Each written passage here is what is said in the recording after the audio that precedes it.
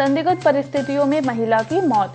महिला के परिजनों ने ससुरालियों पर लगाया हत्या का आरोप। रामपुर के थाना स्वार क्षेत्र के ग्राम धनोरी में एक महिला की मौत हो जाने का मामला सामने आया है जिसके चलते महिला के परिवार वालों ने ससुराल वालों पर हत्या का आरोप लगाया है। मिश्री लाल कहाँ रहते हो? चौपड़ा थाना कौन सा लगता है? स्वार। क्या हुआ था? पूरी बात बताओ। आए दिन शादी की लड़की को मेरी हो गए पाँच साल। अच्छा। शादी के दो महीने बाद में रिमांड मांगनी शुरू कर दी इसने लड़के ने। अच्छा। सर्विस मांग। हम्म, ठीक। मैं सहन करता चला गया लड़की से मैं कहते हैं मेरी बेटी पैसा पेड़ पेड़ मैं देता रहूँगा शादी कर दी मेरे पास पैसा कहाँ है मैं गरीब आदमी पैसा कहाँ से लाऊं? अच्छा फिर? वो कह रही है कह रहा है कि ला लड़की को मैं तुझे नहीं तो मार दूँगा पैसे लेकर आ फटाफट अपने बाप से।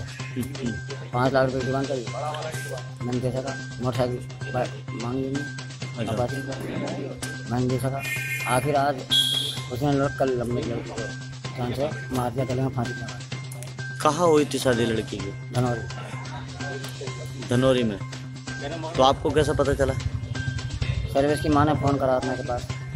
कौन कि सर्विस की? आप जो लड़की की शादी करी थी मैंने वो सर्विस की उनकी सास ने? हाँ लड़की की सास ने। लड़के की? लड़की की सास लड़की की सास ने। क्या कहा? ये कहा कि आपकी लड़की बीमार है मैं कहाँ लेकर जाऊँ? मैं रामपुर से वापस ले अच्छा ये साढ़े सात बजे की बात फिर एक घंटे के बाद में फ़ोन करा था आपकी लड़की ख़त्म हो गई। अच्छा। तब हम लोग आए साढ़े नौ बजे घर तो आपने तहरीर दे दी है पुलिस को? हाँ।